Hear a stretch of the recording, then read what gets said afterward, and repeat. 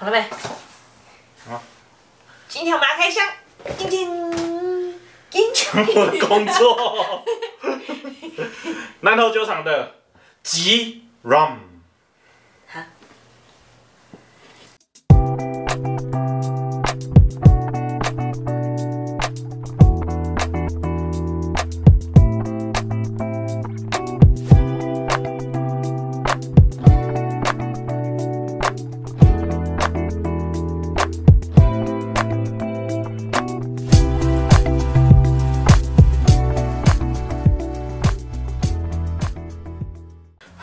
迎收看卤蛋啤酒，我是卤蛋。好，小贝，那在前一阵子呢，我们的南投酒厂哦就有出了这一支哈、有过桶版本的朗姆酒，而且呢比较特别是什么？它用红甘蔗哦做成的朗姆酒哦。大家应该知道甘蔗有两种，一种是白甘蔗，一种是红甘蔗。那白甘蔗就是我们一般拿来做糖所使用的那一种，嗯，那红甘蔗就是一般我们直接拿来啃的那一种。哎，没错。那我们这个呢，是我们的红甘蔗做成的莱姆酒。那之前我们有开箱过台湾的另外一支莱姆酒，是我们那个文艺复兴的莱姆酒。哦，对，文艺复兴的莱姆酒、哎也非常的好喝，但是相对哦价格比较高一点点。那它是使用白甘蔗做的，而且它是过雪莉桶的。那这一支呢是我们的红甘蔗做的。那卤蛋今天要开箱的这支呢是我们的首发版哦。都说第一次是最美好的哦。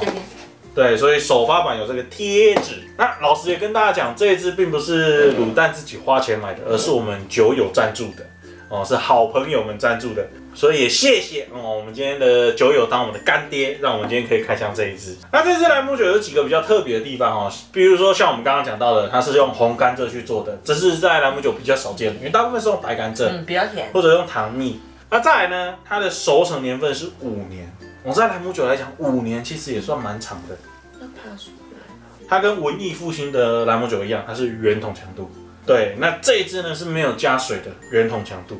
那至于是不是单桶，应该不是单桶，它应该是批次调和的哈。那使用的桶这边写 Virgin Oak，就是我们的处女桶，也就是我们全新的白橡木桶。那酒精浓度非常的惊人，来到了五十九点二 percent。颜色来看呢，其实吃桶蛮深的啦哈，其实也不意外，因为毕竟跟威士忌一样啊哈，它在台湾熟成，大家都知道 angel share 比较高，那熟成速度相对也比较快一点。那吃桶呢，五年的时间就可以吃到这么深的酒色，所以呢，相信它的味道应该跟我们南头酒厂的威士忌一样，是非常的饱满、非常浓郁的。那至于红甘蔗跟白甘蔗带出来的味道会有什么样子的不一样？我觉得吃起来不一样。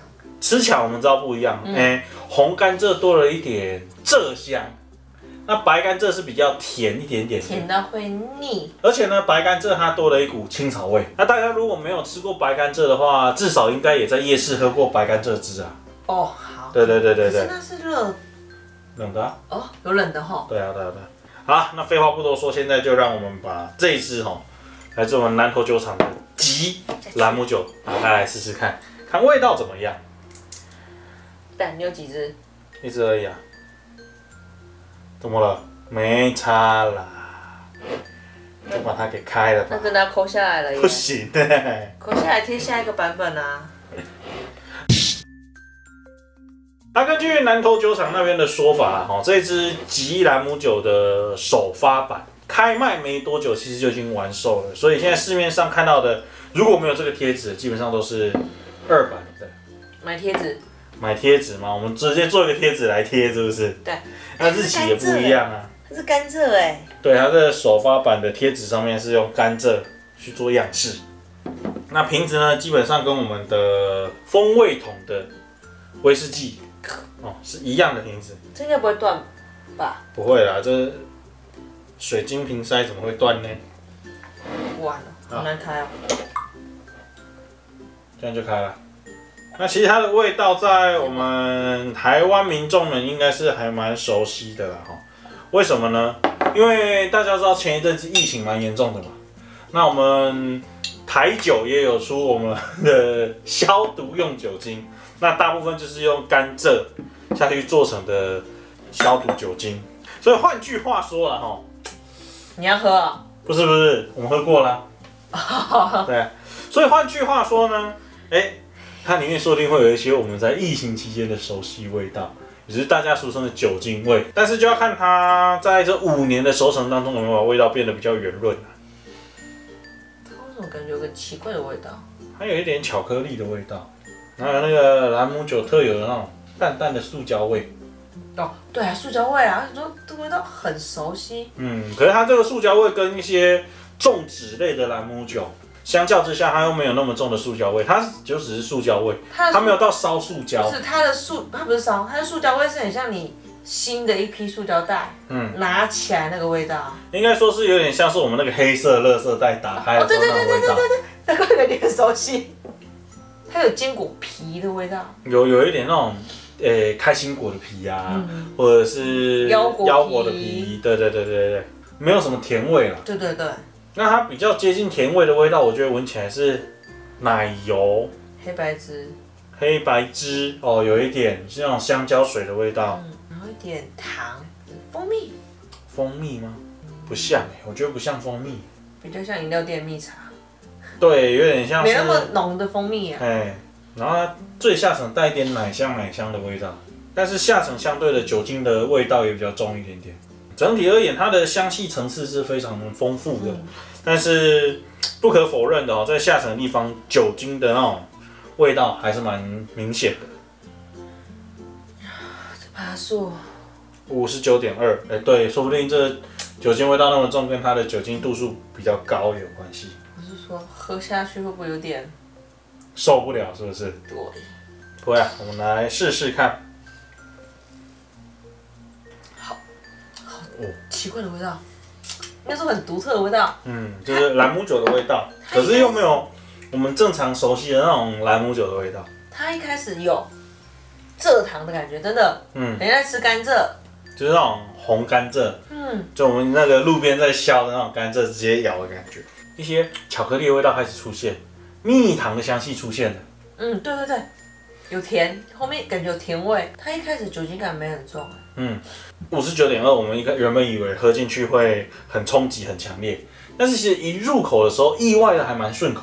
意外的甜，对，因为可能是因为甜感比较重吧，含着含着，当几个层次过去之后，要准备要吞下去的时候，突然哇，感觉好像整个嘴巴的水被拖走的那种感觉。嗯，酒精感就变重了。对，然后酒精感就变得很重，然后可是吞下去之后呢，哎，也不会有那种烧灼的感觉。嗯，就还好哎。所以它的酒精感可能是要在跟我们的嘴巴接触比较长的时间，才会突然出现。那如果平常喝的时候小火的喝，然后润一润，我觉得应该也是还好。然后它刚入口有个味道，嗯，忘记了，那就再喝喝看啊。真的有个很重的味道，可是我忘记了欸。啊，我知道了，葡萄酒的味道。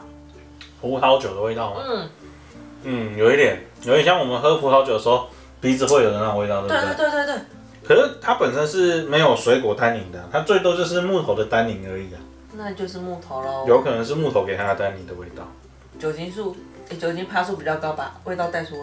有可能啊，因为毕竟它酒精度数高，可能会萃取更多不一样的味道出现。嗯，对，它尾韵其实是没有特别长，我觉得算是中偏短，，清甜，对，清甜清甜的，可是在香气上面就没有那么长。青草味比较重。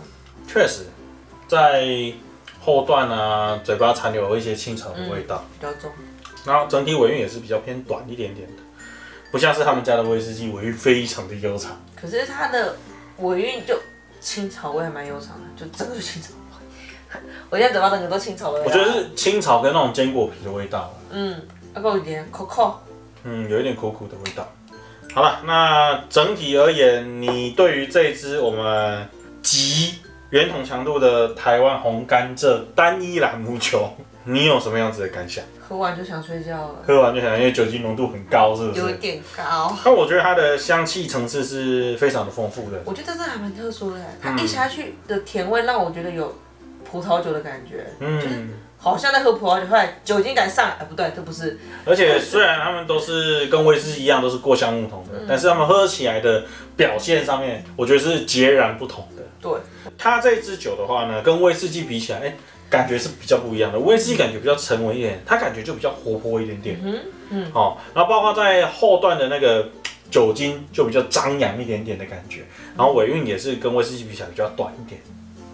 那整体而言呢，我觉得哎体验也是还不错的。那当做平常在喝，呃，虽然它的单价不是特别便宜，平常在喝这个酒精浓度也太高了。哦，也是啊。对啊，但是就是比如说呃礼拜五啊，或者是哎像今天礼拜天，我们拍片的今天是礼拜天，明天要上班了哦，所以想要喝一点，调试一下明天要上班物质的心情。喝一喝，明天就可以请假了。喝一喝明天就可以请假，那是喝太多不一样，那明天会宿醉。如果说我们平常喝威士忌，可能有点喝腻了，想换一下口味，嗯，哎、我觉得这个还不错。嗯，而且其实你说便宜吗？我记得它的定价好像是两千四还是两千六。哦，对，以定价来讲的话，便宜吗？其实不算特别便宜。嗯但你说很贵，贵到买不下去吗？好像也还好。以目前台湾产的圆筒强度兰姆酒来讲，我觉得这个价格还能接受。对，那至于想不想尝试哦，我是推荐大家尝试，但是大家愿不愿意哦，把钱拿出来试试看，就取决于个人了。或者说也可以到酒厂，点单杯啊。对，南投酒厂可以点单杯，然后或者是像我们台北欧马馆也可以点单杯。其实很多我们外面不好买，或者是已经买不到酒，到那边都可以点单杯了。我觉得喝喝看啦，有些人应该会喜欢。嗯，应该会蛮多人喜欢。所以一些平常喝威士忌的朋友们，如果想要尝试兰姆酒的话，这支我还蛮推荐的，我、可以去试试看不一样的味道。好，那以上是我们今天开箱这一支哈，来自我们南投酒厂的极圆筒强度的台湾红甘蔗单一兰姆酒哦，而且是我们的首发版。哦，那今天就到这里，这支影片就帮我们点赞、分享、想要豆瓣照，你们那边的话，拜拜拜。小屁呀、好，那今天影片就跟喜欢这支影片就帮我们点赞、分享，想看多想看更多，欢迎到朋友们跟我想看到第一手片，一定要听我们之前打开小铃铛，我要不定时照 IG 粉丝跟更多大家就跟大家不敢的。未成年不强不的，那我们下次见了，拜拜。唉，这高酒精浓度好可怕，喝完舌头都打结了，喝一点点而已啊。嗯，现在已经有点晕的了。